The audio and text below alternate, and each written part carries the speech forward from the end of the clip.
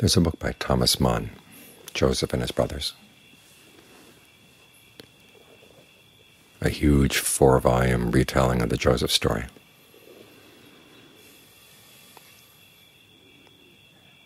And in the beginning of the fourth volume, Joseph is in prison. How does he spend his time in prison? He starts interpreting the dreams of his prison guards and his fellow prisoners. And Mann makes an interesting comment. He says, this is a sign of an educated person. You can find some activity to keep yourself occupied and happy, even in miserable surroundings. That's the best kind of education. That you're able to maintain the well-being of your mind, even when you're sick, as you're getting old, even as you're dying. That would be the ultimate test of your ability to keep the mind in good shape. And this is one of the advantages of learning how to meditate, because it's a skill that you can apply in any situation. that you would other otherwise find yourself creating trouble for yourself, in other words, complaining about the situation. You look at the education we get not just in schools, but also through the media.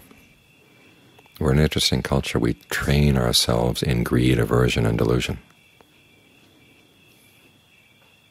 Expose our children to messages of greed, aversion, and delusion from a very early age. And they're trained how to complain from an early age. So no wonder the culture is in a mess but we can learn how to re-educate ourselves. And one of the basic principles is that no matter how bad things are outside, your mind does not have to be affected by them. And you can learn the skills, you learn the tools of the trade to keep yourself well occupied, happily occupied, even when things are going not the way you want them to. You've still got the mind, and you can decide whether to add more suffering onto the situation or to alleviate it. You've got that choice in the present moment. So here we are with the breath. This is the basic tool of our skill. And we learn how to evaluate the breath. We talk to ourselves about the breath, and then we play with the breath. Experiment with the breath, realizing that the breath energy is the most important part of keeping the body and the mind together. And so you can use it to help with the health of the body, help with the health of the mind. And it's not just while you're sitting here with your eyes closed.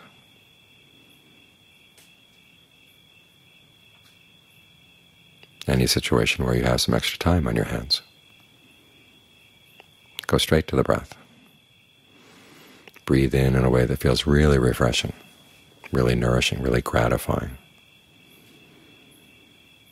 Because it's one area of your life where you have total free range of choice. You may have outside responsibilities where you have to take care of this or sit through boring meetings or deal with difficult people. But you don't have to breathe in a way that adds on to your suffering. The reason we do is because, as the Buddha pointed out, we breathe in ignorance. When you hear about dependent co-arising, it sounds awfully complex, but it starts with a really interesting observation. One of the reasons we suffer is because we breathe in ignorance. Bodily fabrication, which is the breath, gets affected by ignorance, and that leads to suffering. Our verbal fabrications, the directed thoughts and evaluations that the mind creates go off in areas that don't really have anything to do with helping with suffering or helping with the end of suffering. But if we learn how to do these things with knowledge, bring in the perception of the breath, filling the body, and learn how to evaluate the breath, think about the breath, in a way that gives rise to a sense of pleasure where you feel any dis-ease in the body, how can you breathe in a way that's soothing? Think of the breath as medicine for that part of the body.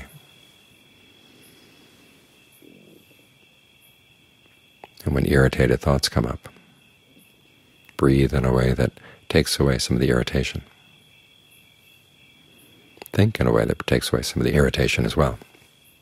Because if all you can sit, do is sit there and think about how miserable you are, that's just adding more irritation on top of the other irritation. But you say, here's an opportunity to breathe in a way that feels really good and nobody even has to know. Even if they do throw you in prison, you can breathe in a way that's gratifying. They don't have to know. So here's your own secret education, your own secret culture.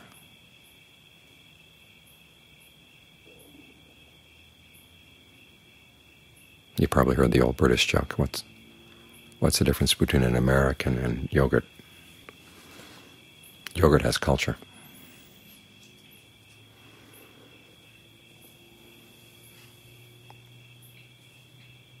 Well, we can show that we have some culture too. And they don't have to know, because this is an internal culture.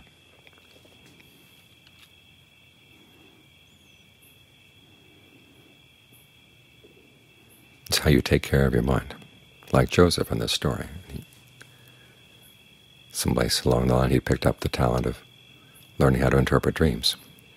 Of course, in the end of the story, it's taken him all the way to becoming the advisor of the Pharaoh because he's able to interpret that one big important dream.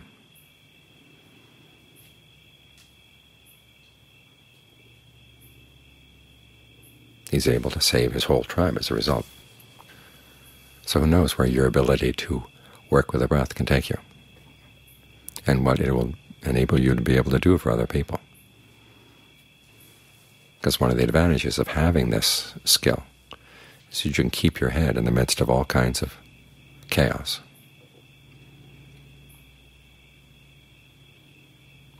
in a much better position to help others. So realize that you've got a skill here that can be applied in lots of different situations, even some very negative ones. As I've said many times before, the, who knows what's going to happen in the future, but one thing you do know is that you're going to need all your powers of mindfulness and all your powers of alertness to deal with whatever comes up. And the more you have, the better you'll be able to deal with it. So remember, this is a skill that's not just for sitting with your eyes closed at the end of the day and learning how to relax a little bit. It's something you carry with you at all times.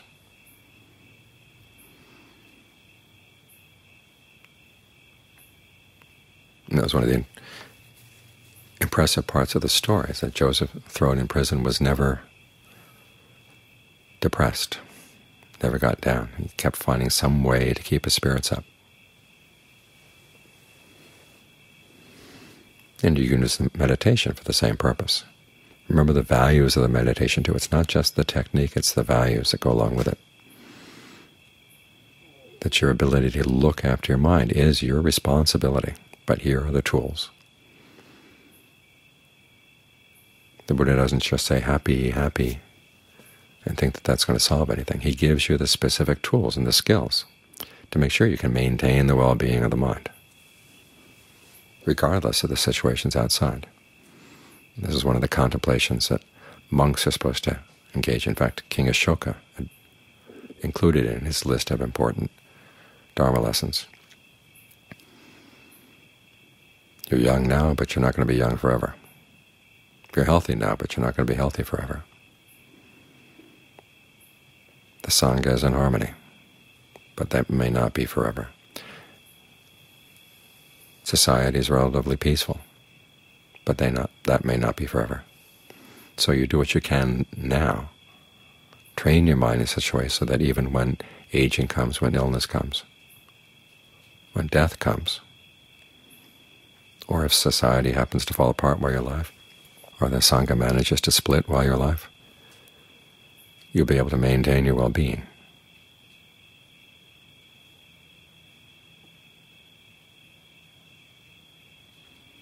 as far as how bad the situation can get outside, the Buddha has that great image of bandits pinning you down and using a saw to cut off your arms. And the Buddha said, if you have any will, ill will for those bandits, they're not following my teaching. Spread goodwill to them, and then starting with them, spread goodwill to the entire world. And he says, if you keep this image in mind, is there any situ other situation you can think of where you couldn't stand, say if someone says and it's something negative to you?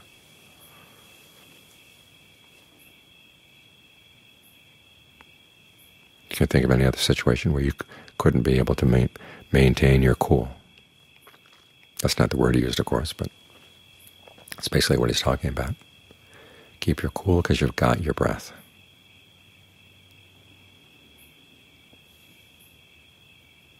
You've got another foundation for your happiness.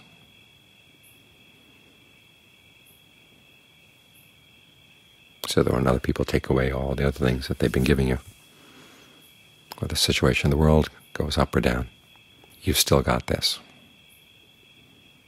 Place your happiness here, and it's safe.